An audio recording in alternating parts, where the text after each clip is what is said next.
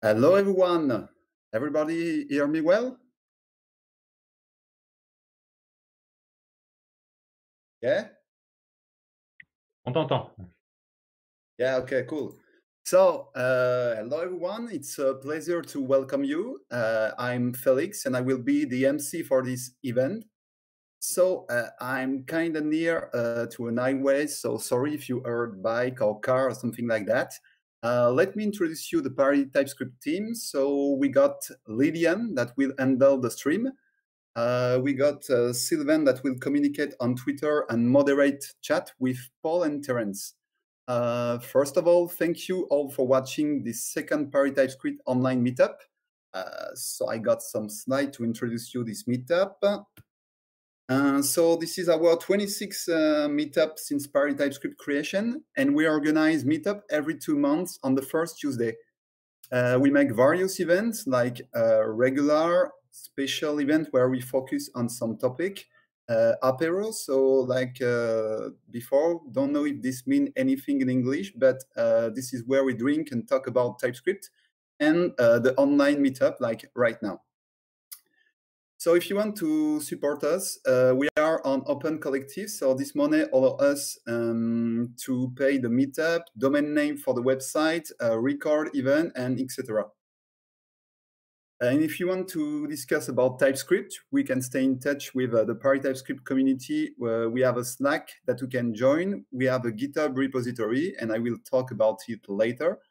And we also have a YouTube channel where you can see past uh, recorded event. Uh, so all the Paris TypeScript team is on Twitter. Uh, the meetup also have an account where we publish information about the next events. So if you don't want to miss news about the next uh, meetup, you can follow the Paris TypeScript tutors account. So we have a GitHub repository where you can submit talk on issue tabs. Uh, we always search speakers, so don't be shy. We can help you. We search every level, every topic, and of course, it has to be related to TypeScript, but we are very open-minded about the topic. Also, uh, thanks to our Lil Bro Paridino meetup that helped us to set up this online event. Thank you very much.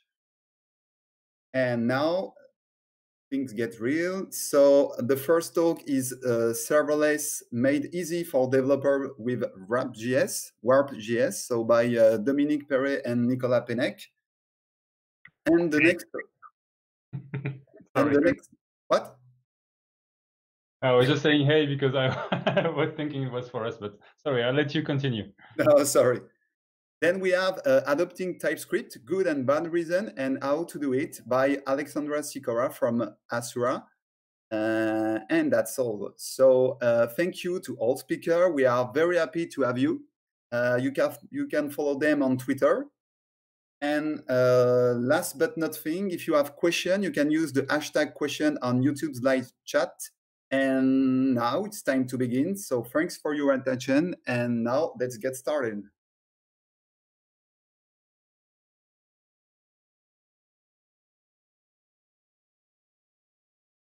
Hey, so it's us now.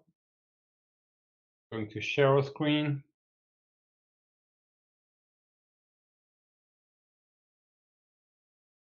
Okay, it's coming.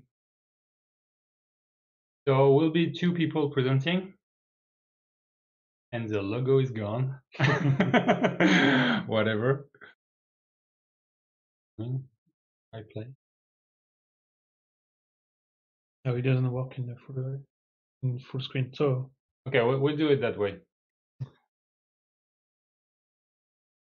Okay, so uh, we will introduce a serverless, uh, new serverless approach uh, called WarpJS. Uh, this is a product our develop our company developed. So a word about the speakers first. So uh, here it's uh, Nicolas and uh, and myself, Dominique. So Nicolas is uh, really well known in the uh, open source Nuxt ecosystem, and is also the co-organizer of the RennesJS meetup. And I myself, I'm a former CTO of a company in Brittany, and now I'm a more or less a developer advocate, uh, evangelist, whatever you want to call that. But I like to actually talk to developers about uh, these new technologies. And uh, and here we go. So what is Warp.js? So it's um, I will just read that an opinionated platform that turns JavaScript modules into serverless APIs with no HTTPSL. How to turn a module in serverless API? Uh, this is actually the core of our approach. Uh, this is really something you've never seen. Uh, sorry, but we don't see very well your, your slide. You you you don't uh, click on play. Yeah, but it doesn't work. I don't know why. I I don't not work. Okay. I don't know why. Try play there. No, it doesn't work. Okay, and then you know, there's a, there's a oh, Google. Oh, okay, okay. Uh, the Google bug. The Google bug, yeah. Sorry. Of course, this is the no uh, problem. Okay. Demo effect, not even with warp again. it means the logo. So maybe maybe we can zoom or something. Uh, or, or put put that full screen. Yeah, a bit better maybe. Uh, sorry, sorry for that, guys. Uh, so yeah, uh, this, this is a unique approach to uh, actually you take a JavaScript module and uh, you you use the magic tools uh, provided by Warp, command line interfaces, and then you get a serverless plus the API client on the other side. So this is this is where your promise. how it works? Let's get in with Nicolas. Okay, so we will switch to uh, to the to VS Code. So uh, for tonight, I just uh, will present you um, a demo project built on uh, on top of Vue with TypeScript and so Warp.js. And just to don't waste your time, I already prepared a project this afternoon. Uh, so it's a project built from the Vue uh, CLI uh, because I'm a big fan of Vue uh, and uh, I like TypeScript too. So you can easily create a project with these two awesome technologies. Just have to install so the Vue.js client, CLI, sorry. Then you just launch the, this command to create a project. And if you want TypeScript, it's very, very easy. You just Vue add TypeScript and you will scale, scale automatically uh, project uh, like as below with this uh, architecture with all the um, the package install uh, for Vue and TypeScript, and uh, you just have to to turn on your server and you can play. I will use Yarn, but you can use npm if you want. So these command lines you already run. Okay, so the project is scaffolded with uh, TypeScript. Yes. And so let's now uh, add uh, a backend and to see how it works with the regular way of HTTP. So, okay, this is uh, the scaffolding project this Vue and TypeScript. I will make this uh, project more uh, fancy. For example, I will remove my uh, Vue logo and the uh, Hello World components, and I will add the logo from uh, Paris TypeScript, and I will create with you an, uh, a new component, user a user list, to print um, a user card from uh, data from an, an, external API. So the use case here is we let's say we want to create a proxy. Uh, we don't want the, the client directly to request uh, said APIs, but uh, or said HTTP uh, uh, REST API, and we just want to create some part of backend that will act as a proxy to reshape the, the JSON we want. So we go, we will go to the, this new component. I already created, but uh, it's a very uh, classical component. We have a title, user list, and a list of uh, users. Just dump the data, and the data are right are hard coded in the in the component. And as you know, uh, you can use as a um, decorator from TypeScript and the language uh, TypeScript directly in Vue, and it's very awesome uh, this feature uh, easy, very easily to TypeScript with you. So it's hard-coded here, my data, it's user, and it's print here. You have the library load. Okay, so I have my data here. It works. So now I will make uh, something more fancy. Oh, I'm a cheater, so I just remove my code and okay we have the powerful live reload from Vue.js. Uh, so you can see the user card from the data hard-coded. We have Jack, John, and Julia.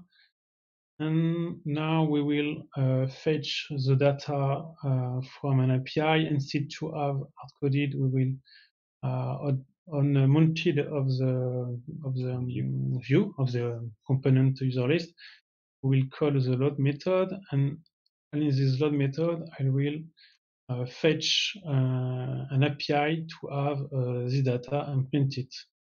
But currently, I don't have this server, so I will build it with you. Yeah, this user's RESTful API has to be coded, so let's get into it. So to go quicker, I'll, I will uh, show you the, an example of Express server built with Node. When when you want to create an API, you have uh, to, to to run an Express server. You have to handle the security with CORS I mean, and uh, with uh, awesome library like uh, Helmet uh, often you have to handle uh, the, the compression and many, many other stuff about security and DevOps. And uh, you have so to declare your POR, your express, you handle your error. Here I just write a simple global error handler. You, you, you, you declare your middleware. And then you have to define each routes, for example, slash for the root, hello world, uh, get user for this example, or for example, movie search, we will search movies, etc. Uh, so in this method, you have to, to handle uh, the, um, the, HTTP uh, request. Uh, for example, we can check, we can take the query parameter with uh, this way, but um, we don't have the type of this this parameter. This is always a string by default. And then I can uh, call my real uh, function in the API file. And in this file, it's just my real logic business. For example, get user, and get user will uh, fetch an API from the well-known uh, JSON Placeholder API. I think you know this API for uh, some uh, tests and but you can call uh, DB or whatever. So this is uh, the classical way to, to, to write a server. So I will go in this server, press and I just start. Uh, so we start. I will test it. Uh, okay, it works. Okay, my server is up and running. So, so we got a proxy ready. Yes. And so the regular way, I go back to my project and I will fetch the data from the localhost and uh, have the response JSON and return user object. Uh, with the live reload, it should work. Okay, now it's uh, the, the real data from the API. So it's a very classical way. And of course, if now, if you want a push in production, you have to change this URL because uh, we, we, it's not localhost. You have to, to switch between the different environments, for example, production environment or uh, any any other stuff. Yeah, there are.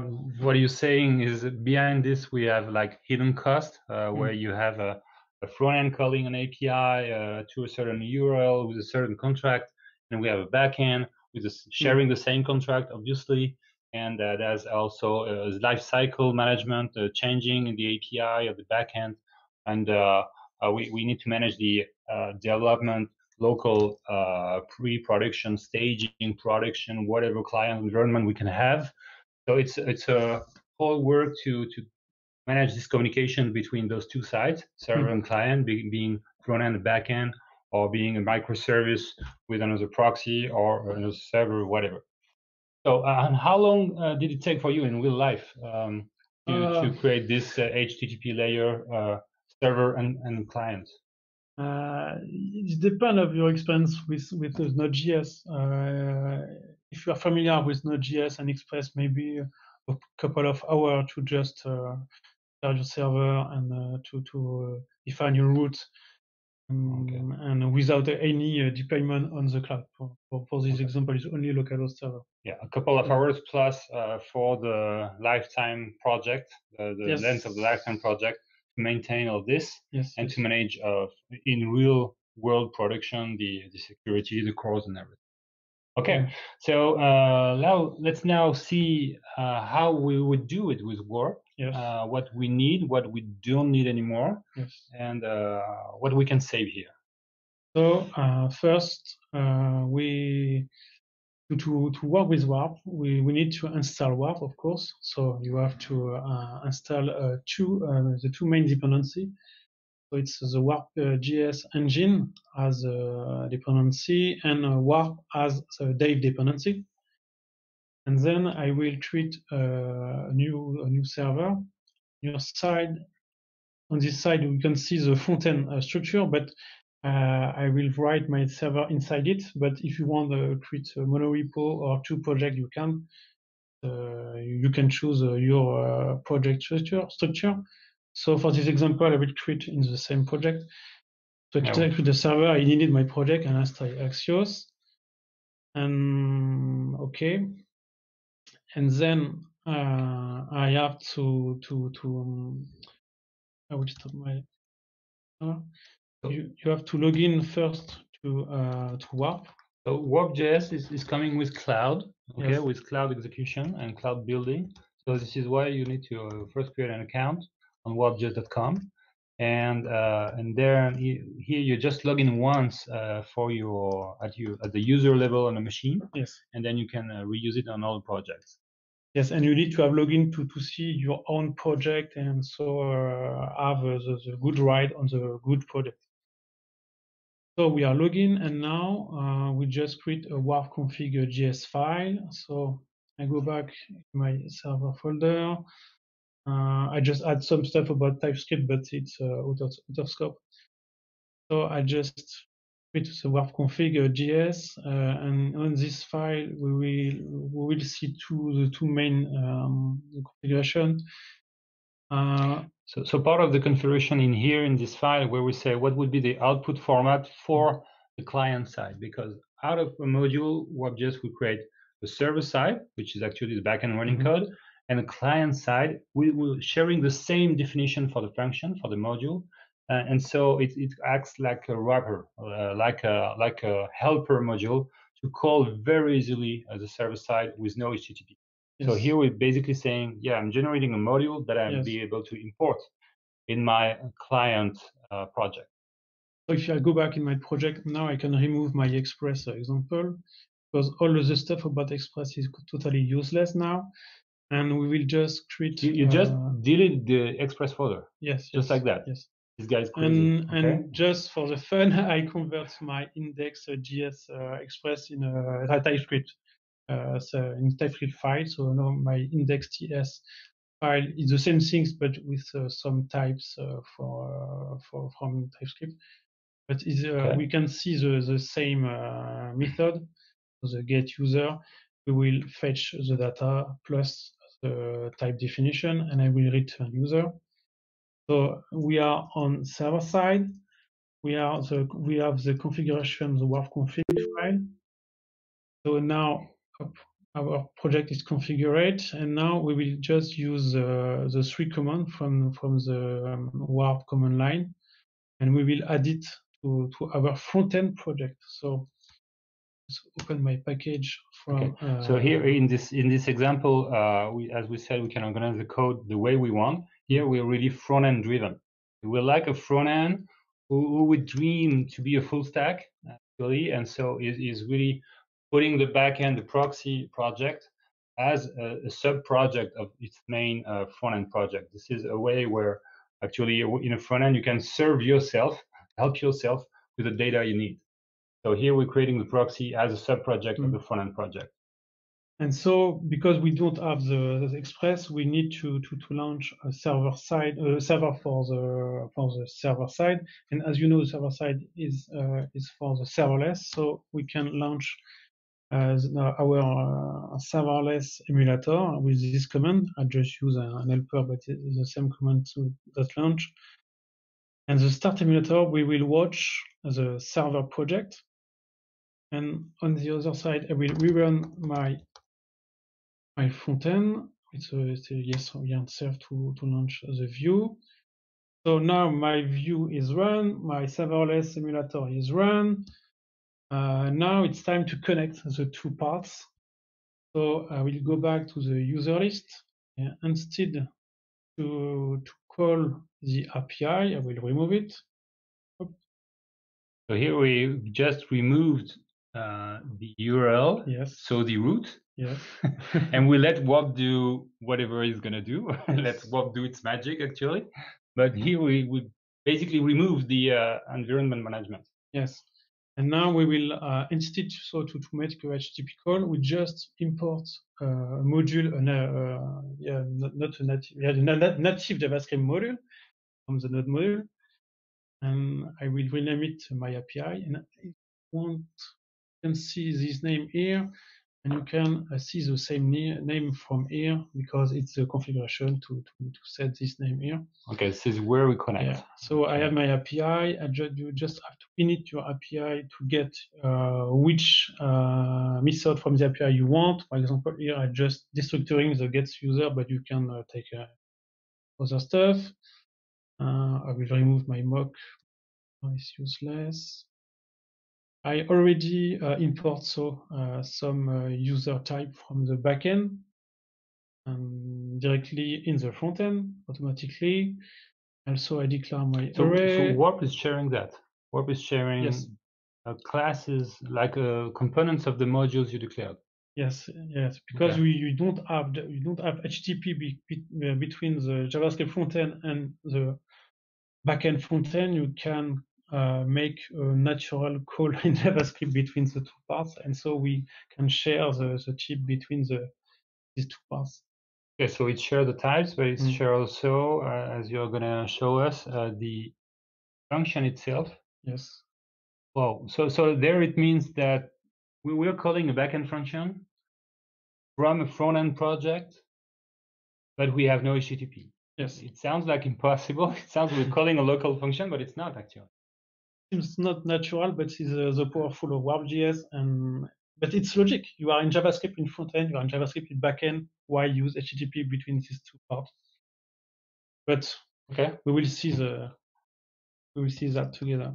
So I just here uh, uh, make a call to my uh, get user uh, function in the front end, like uh, in, in the front end for to the to the backend.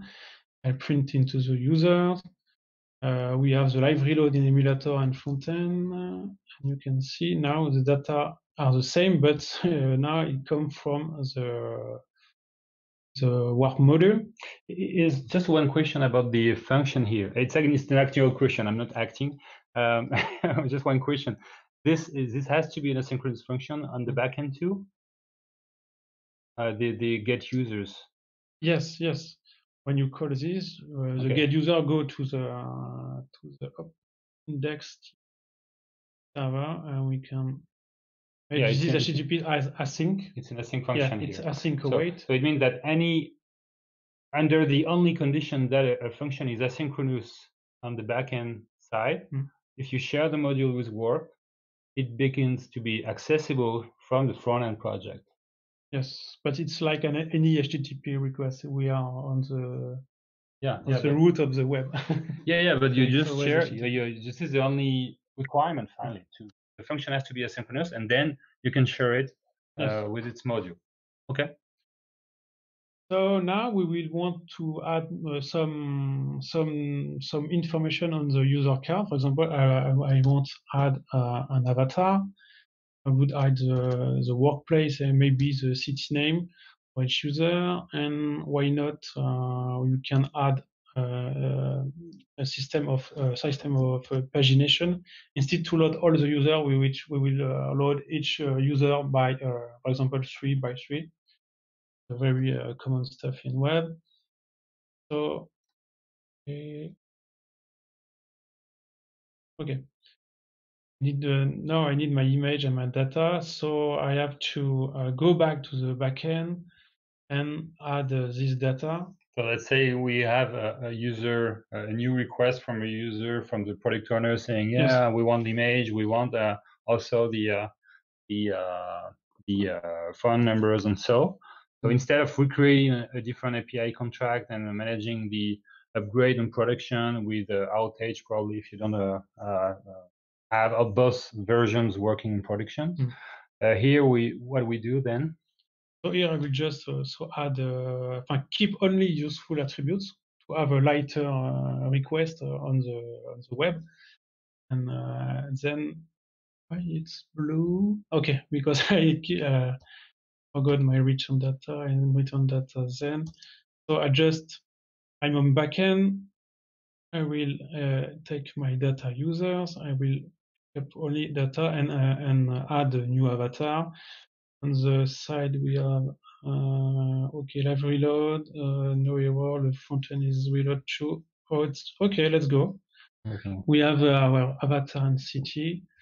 But now, So here we, uh, we, we've seen that we got uh, both uh, front and backend live reload. Yeah. The server stays connected uh, is the serverless simulator, and the, the front end obviously uh, is connected uh, with this live reload with Vue. So Okay. now, I mean, uh, now I, I will I will add the pagination. So it's very basic pagination. I just make a slice on the uh, on the array with a page and limit on the uh, entry input, and the entry is an object. It's another string. We can type the, the entry, and it's very common for TypeScript uh, users. And I will go back to my user list, and I just replace my get user by uh, get user here and add some options. So I just add option about page limits, page uh, page number, and which limit on the page, just to my private attributes. And then I will get user with my options because as you can see, uh, option is optional. Okay. And then I just concat uh, my uh, my user data with uh, the previous and increase the page number. Hop, I reload it. Okay, it's don't work. Uh, why, why, why? Ah, because I just forgot to remove it. Okay, it's reloaded. Uh, we can show more, show more, and it's okay. And the last user. So as you can see, it's very easy to have a live um, to, to to write a new feature. It's very fast because you just you don't have to to to rerun the server and uh, refresh the server. It's uh, you have the powerful of JavaScript. You have the the live reload from TypeScript, and then from the emulator, and then from the the Vue.js. And okay, but we speak about serverless, but currently it's not very serverless. So we have a command for that. Ah, okay. You're talking about leaving the local uh, test, uh, local running, and then going into yes. onto the cloud. Uh, Okay. and stop my my emulator. And now I will just run a new command and we will see together. So I just run this command deploy. This command we will uh, some stuff.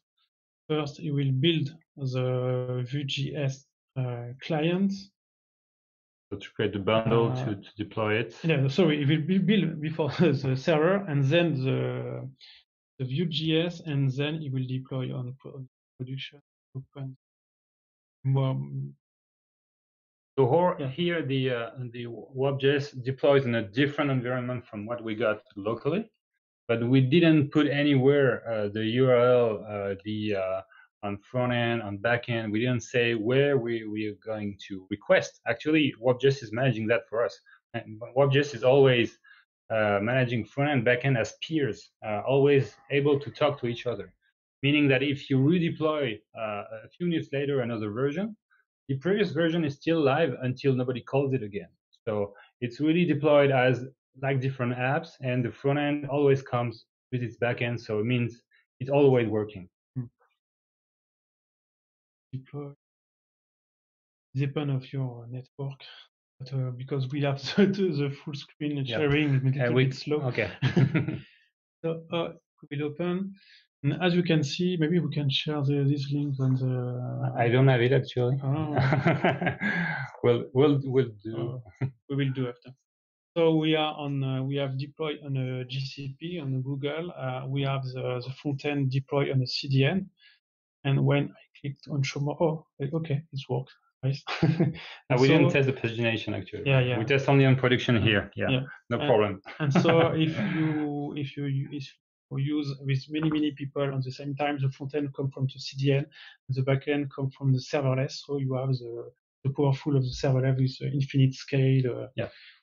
We have different uh, deployment options for for WarpJS, but here it's deployed on Google Functions mm -hmm. for the backend, obviously, and the front end is in a storage. We, as we see in the the URL, it's a temporary beta URL. Uh, on, on, on the real product, uh, we are we are currently implementing Amazon Lambda, obviously, Azure Functions, of course, and uh, we also for our first customers um, creating the system to deploy on-premise and on private clouds onto uh, via Docker and uh, with Kubernetes.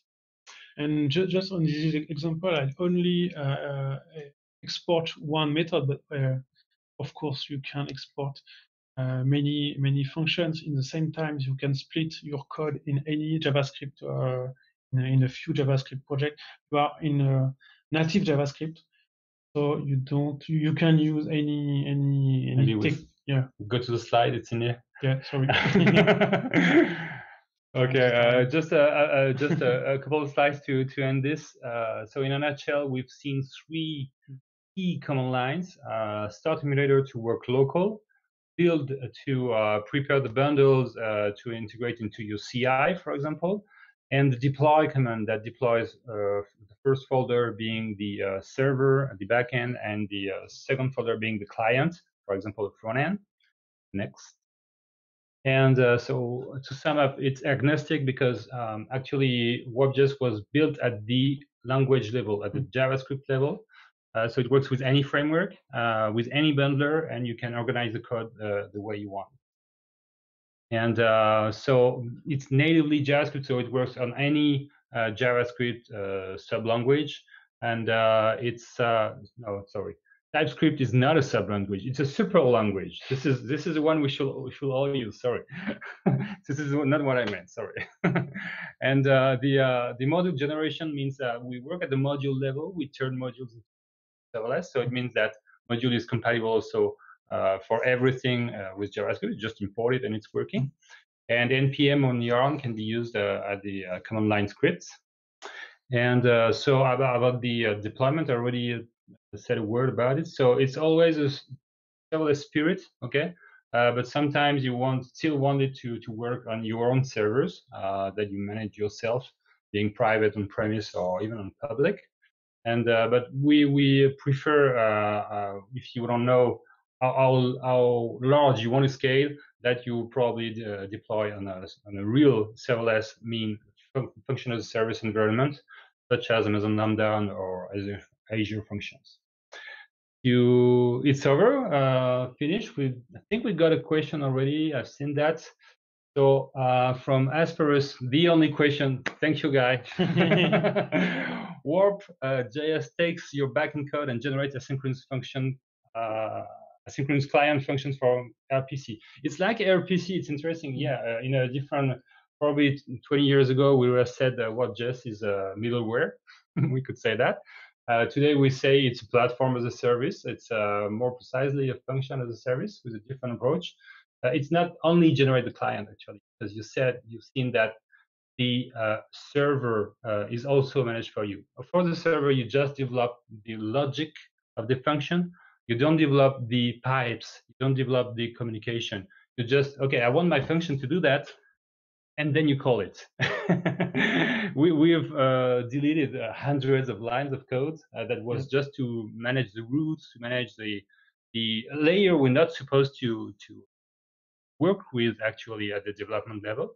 Uh, uh, if we take a, a, step back and to look at the big picture, actually um, the the server client architecture, backend front-end architecture is not a design choice. You don't do it by choice you just have to do it because the data is, is somewhere uh, and you, the browser is somewhere else. And you, this is a constraint you have, we you actually have today to build applications. The goal of WarpJS is just to remove that constraint. You code somewhere, okay, let's say I'm in the front end environment, and oh, I want this to run in the backend. Yeah, just warp it, and that's it. You warp something, it's running backend, and you can just call it as if it were local. Any any other question maybe? We just uh, just in time, right in time.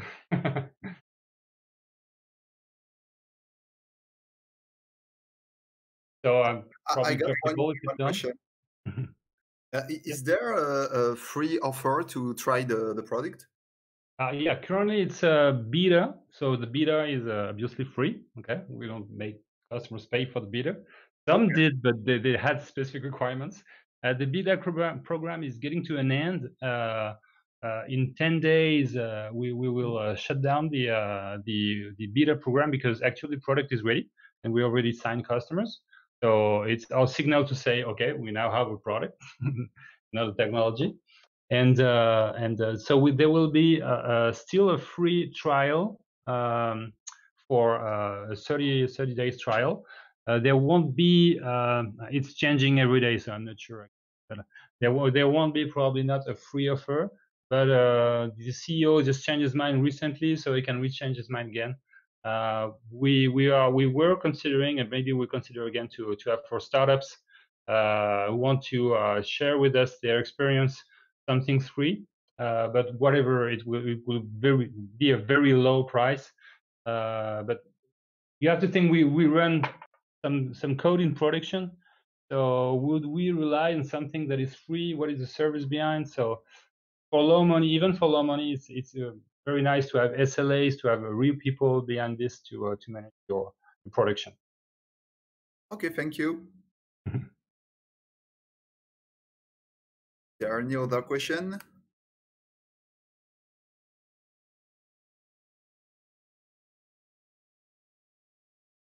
Okay, currently not. Okay, I think that's all. So, so you, you, can always ask to, sorry, um, just a little thing to finish. The, the Medium WarpJS is a, contains tutorials for Angular, for uh, Vue.js, and for React. Uh, so it's really uh, step by step explained, uh, as easy as you as you just seen.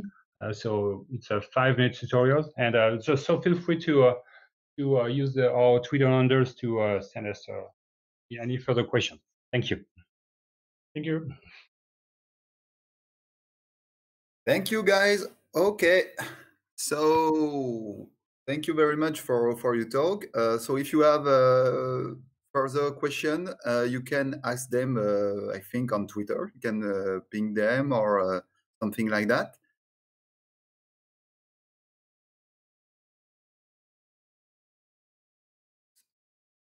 TypeScript adoption. Uh, yes, hello. I will start showing my screen just now.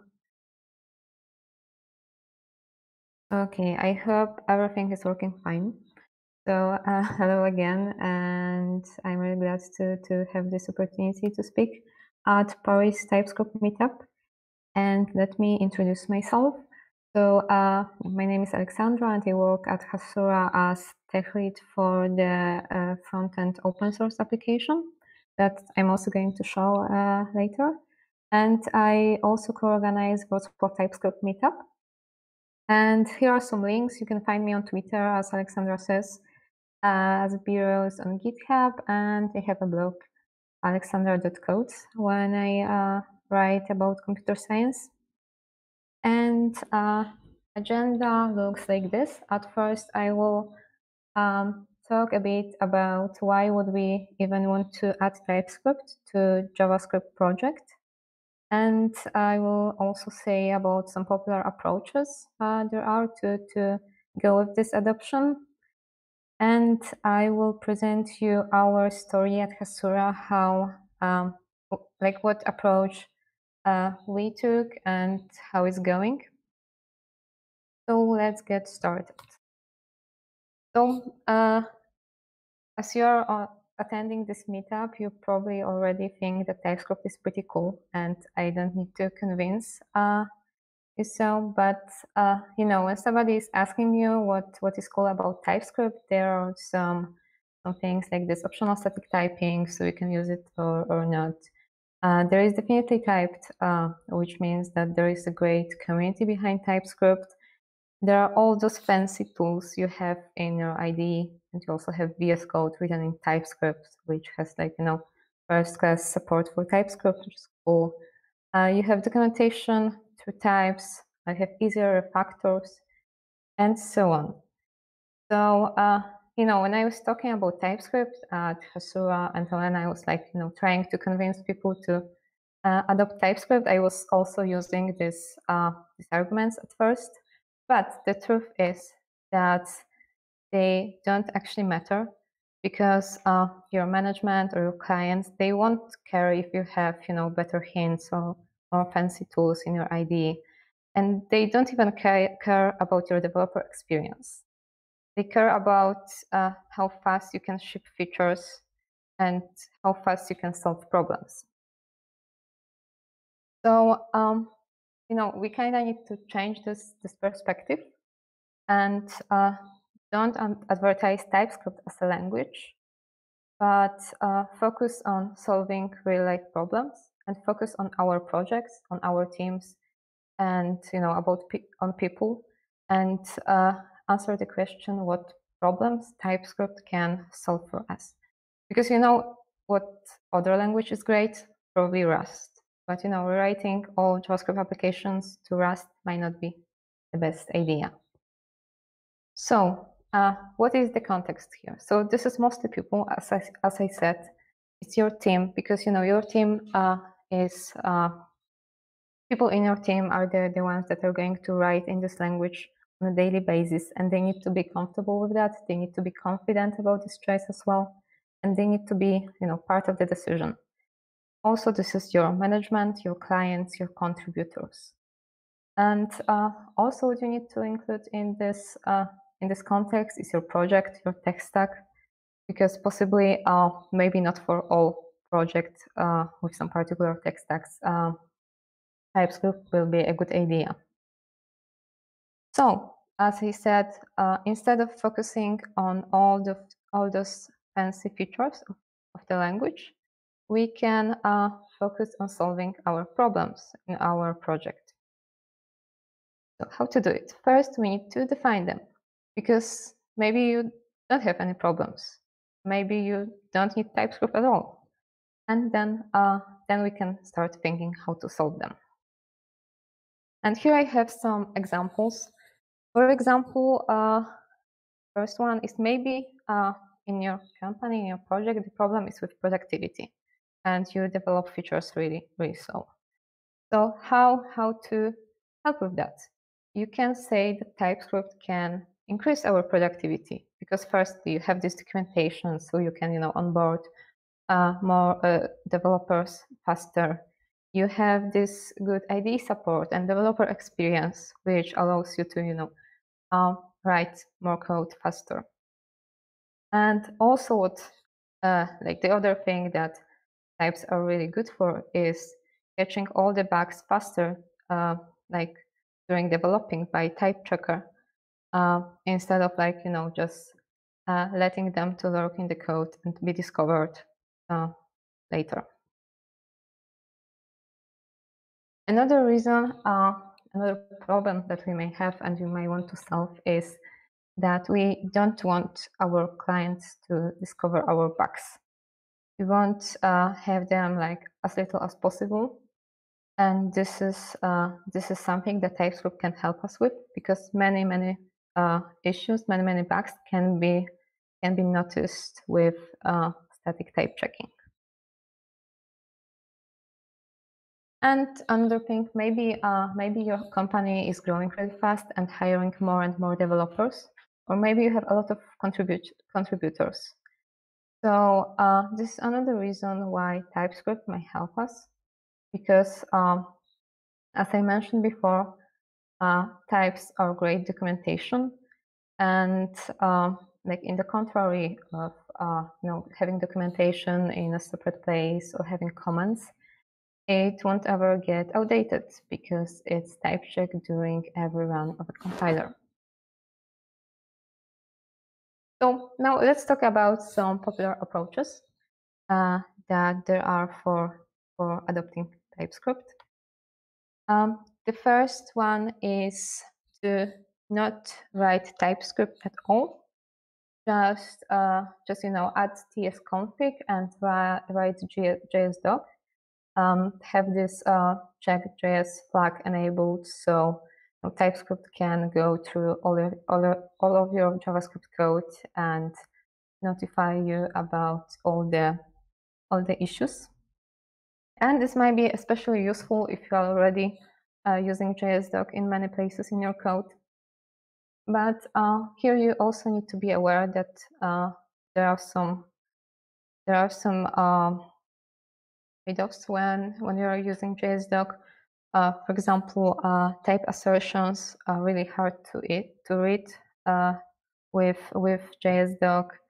Um, there's also this problem that uh, if if you have any typo or, or bug in your JSDoc, TypeScript won't uh, won't annotate your expression. Uh, it just it will just ignore it. So this is something to keep in mind. second reason is to use non-strict TypeScript everywhere. So basically, you are um, you are uh, taking all of your code and you are converting all of your JavaScript files to TypeScript files. And you have uh, loose settings. So, um, you know, you basically, um, you just um, allow TypeScript to, to, uh, to uh, have this like basic uh, benefits and then you would gradually increase strictness and add more and more uh, compiler settings, like those strict settings. Uh, third way uh, is kind of similar uh, because um, it also uh, is about you know doing something with all the all of the code base. So you you can have strict settings and uh, you know, uh, write all, all of your JavaScript code in uh, with those strict settings. And for your for your JavaScript code, you can generate declaration files, and you can use DTS Gen for from Microsoft to do this. But here, um, what what is important to remember is that um, there is some kind of a trade-off in those generated uh, declarations, you're going to see a lot of any types. And as, as mentioned in the README of dts-gen, uh, this is meant to be a starting point for writing high quality definition file. Um, another thing to, to remember uh, about doing like uh, about creating declaration files is that you're going to have um, you have you're going to have it well typed whenever you are using the, those modules. But inside of the module, uh, you're going to only have uh, this basic TypeScript support for JavaScript file. So, um, so, uh, so this is an example. I have declaration file for uh, for some component button.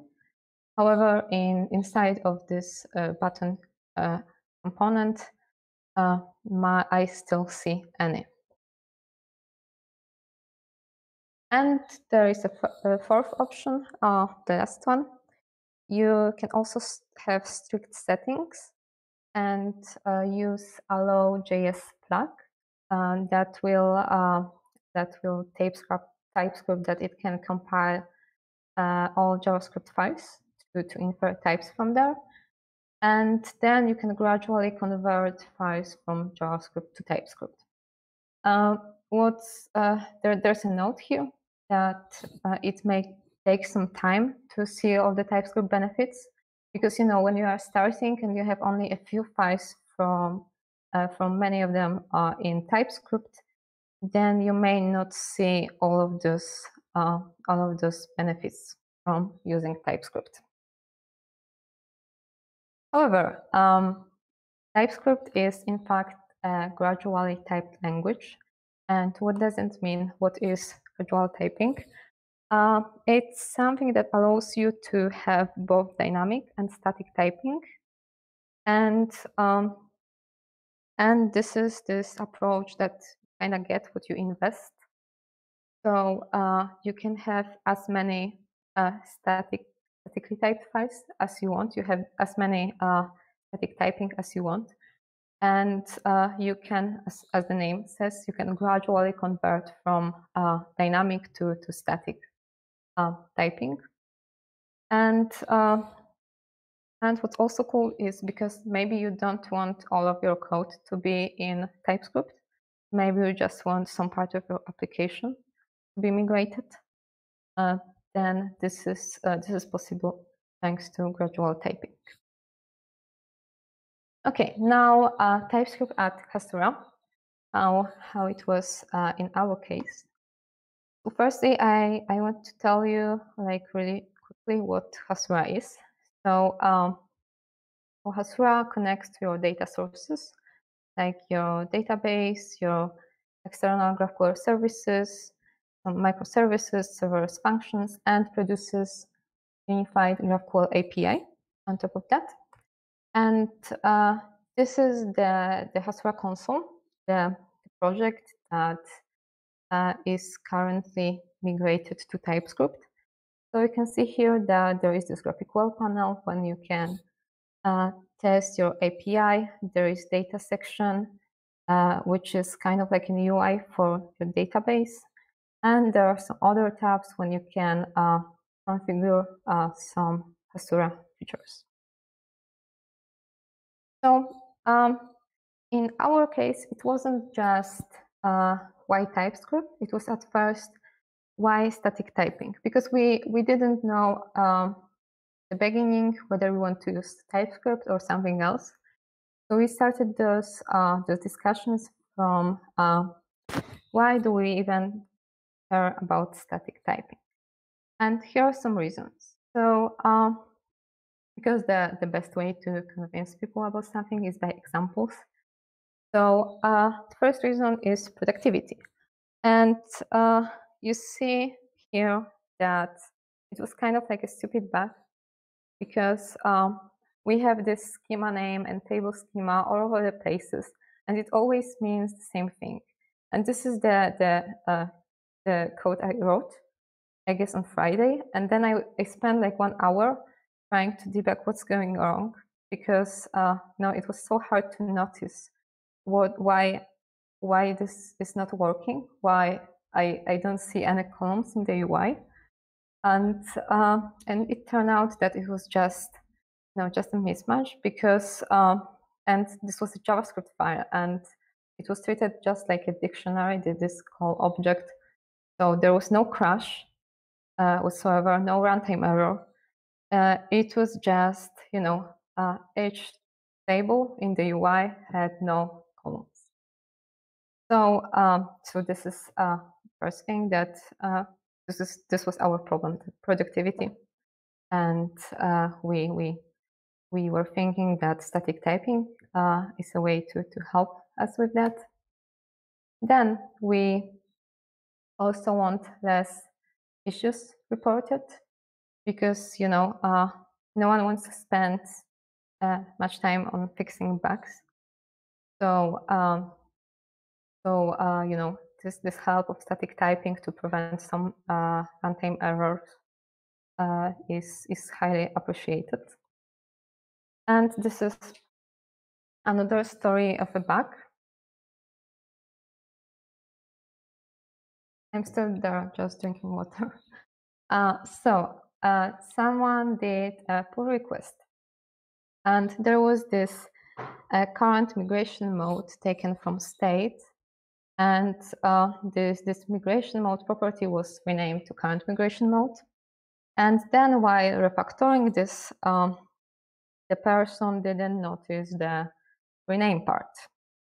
And the same day uh, as it was merged and as it was released as a beta version, uh, someone created an issue because this, um, you know, you could say that this is one line bug, but this bug uh, prevented users from um, from creating migrations in the console, and this is uh, basically one of the most important points of the of the Hasura console.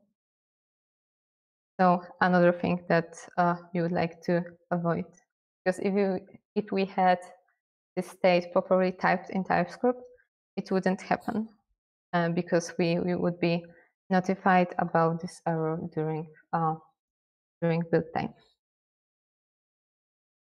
Okay, and uh, another thing is, you know, because often when we are talking about static typing and about you know adding static typing, uh, there is this argument that uh, you can just write more tests. And we have a lot of tests. We have like really, really a lot of tests. But uh, you know, there are just kind of stupid bugs. For example, like you know, uh, someone is using a function that doesn't exist, or some you know some other runtime errors that could be uh, that could be noticed during build time by type checker. And why would we need to you know wait half an hour for our tests to run to, to spot this? Or uh, why would we need to, you know, take uh, spend one hour to manually test our whole application to spot some kind of like this stupid small bug? This is so. This is another thing that type systems can help us with. So uh, when we when we decided that uh, that we want static typing, we had four options. We were uh, considering Elm, TypeScript, Reason, and PureScript. Uh, however, there were some requirements. And the first was that we needed good JavaScript interop. And this is because we knew uh, that it's not possible to migrate the whole code base at once to, to the particular language. So uh, we needed something that would work uh, really well with existing JavaScript code. That's why uh, Elm is out because it's not that easy in Elm. Then uh, we wanted straightforward setup and good IDE support. And, uh, you know, uh, we are kind of like smart kids and we have all those fancy tools when working with JavaScript code. So we want to still have them. And uh, TypeScript is, uh, sorry, PureScript is very great language, but unfortunately this ID support is not great, uh, especially that we we are all using uh, their VS Code or WebStorm. So then uh, there was this low migration cost uh, aspect, and know in here we wanted uh, for all our developers and contributors to uh, to be able to write new code um, fast and to not kind of force them to learn something uh, totally new. And uh, Reason was a really strong competitor, and we were, we were thinking about Reason for, for a while, but uh, TypeScript won in this regard. So, uh, what was our approach and migration story? we decided to go with this fourth uh, approach with gradual adoption. And we had two key points uh, while doing this migration. The first one, the first one uh, was to, whenever doing something, all the new files uh, are going to be in TypeScript with no exceptions. And the second one was that, you know, with every pull request, we uh, we were supposed to try to migrate some modules to TypeScript and to work uh, on this TypeScript migration with, with every other issue. So um, how do we start it? At first, uh, going to be kind of like a timeline uh, of how it looked like uh, in Hasura. So first, I did uh, TypeScript workshops uh, back when I was uh, in India, I did workshops for the whole company, not only for the front-end people, but for whoever uh, was interested in, in TypeScript. And um, then in, I guess, in the middle of the March, no, on 5th of March, we uh, merged TypeScript uh, support uh, prerequisite of TypeScript support. And uh, yeah, and at this point, we kind of started thinking more about uh, this uh, this migration. I created an issue uh, for external contributors to you know to uh, get some help with the migration. I created a list with some some easy modules to to migrate, and uh, some uh, some files that are a good fit for first issue. And uh, it was pretty surprising because there are many many people who are uh, really happy about contributing. We got a lot of pull requests, and people were all the time, please add more modules to this list. Please uh, tell me what I can work on and something like this. So it was it was really nice, and people were also super happy about you know their PRs getting merged. And um, yeah, at first uh, it, was, it might have been pretty confusing because we had basically no TypeScript code in the uh, in the console. So someone asked where where we were keeping our TypeScript code because there is none uh, on master. Uh, but yeah, but uh, it it was getting better and better. And uh, right now we have more than 30 pull requests, and uh, uh, over 20 were already merged. Pretty pretty cool. And one of the most outstanding ones. So someone migrated all our Cypress related code to TypeScript for these seven files, and no, it wasn't only uh, renaming to uh, like files from JavaScript to TypeScript. Um, the the person Raj, uh, he also uh, you know needed to do setup for TypeScript with Cypress, uh, fix some our some of our tests, and so on. So it was a lot of work. So uh, if by any chance you're listening to this, then thank you very much for for this request. And yeah, this is how how it looked like. So we started first conversations in February, and then you know March was about adding TypeScript support.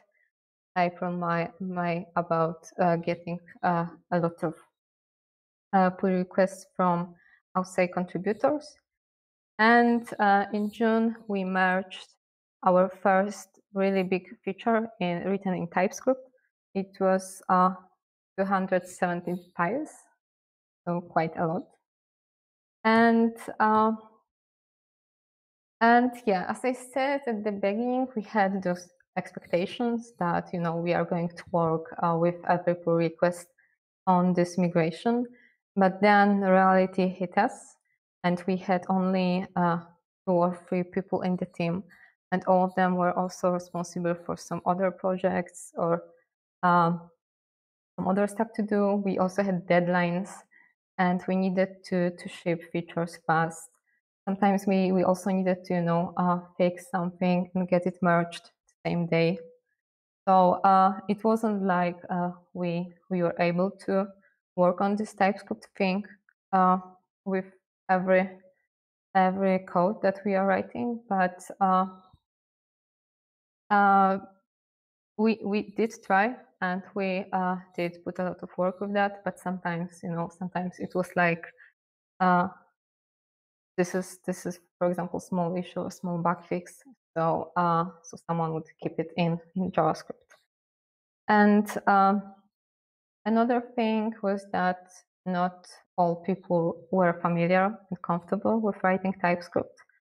So uh, yeah so it was it was pretty hard to uh, you know, at first to uh, make everybody uh, write TypeScript and be comfortable with and confident about about this. So where are we now?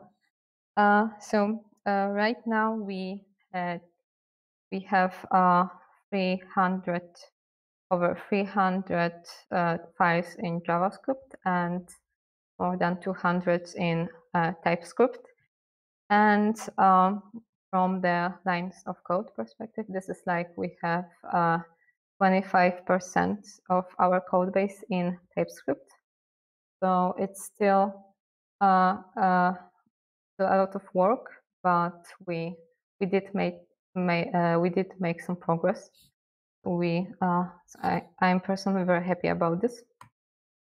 And what's more, so uh, as we were doing this comparison, I wrote a blog post some time ago about you know, uh, comparing um, PureScript, Reason, and TypeScript. so you can check it out uh, if you want. And also, we still need help. So if uh, if you have some free time and you want to contribute to Hasura, then uh, you can pick up some uh, some part of the code base and uh, migrate to TypeScript. And uh, if you are interested in Hasura, you can check out our GraphQL and TypeScript tutorial and see how to build application using Hasura and TypeScript. Okay. Uh, thank you very much. Thank you for attending and uh, thank you for organizing this meetup.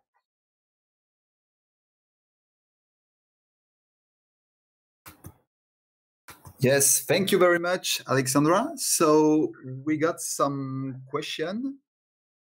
Uh, one question from uh, Paul that uh, didn't know about the dts-gen.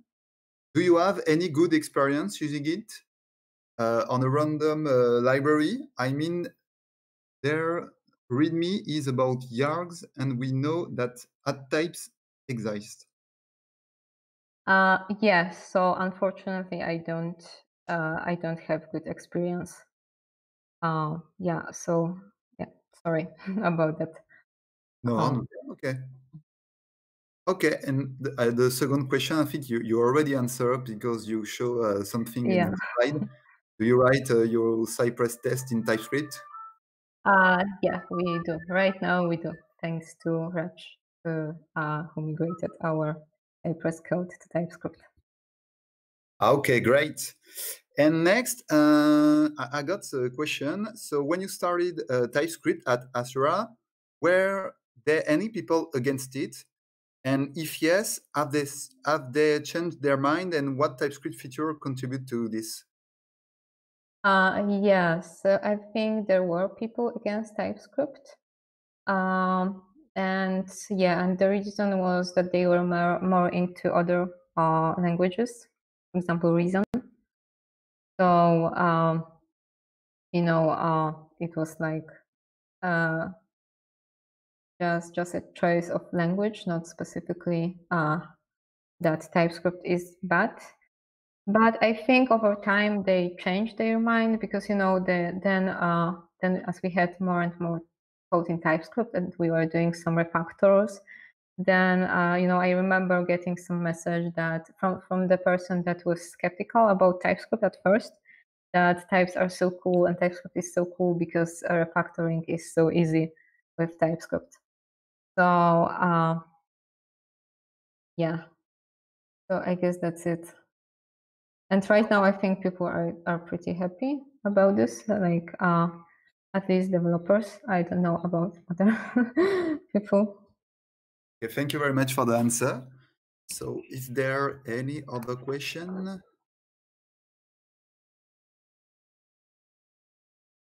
I don't see any other question.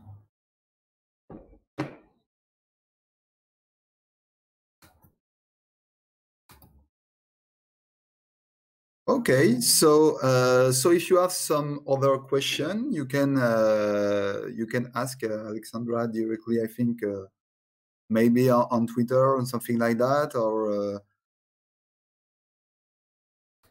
and uh, and that's all. Don't know about the next meetup. Uh, we will uh, announce that uh, with the Twitter account. So uh, thank you, everyone. Thank you to our all speaker. Thank you very much to be there and to, for your talk. That was uh, very great. And thank you to all the viewer on the on the channel. And uh, see you later.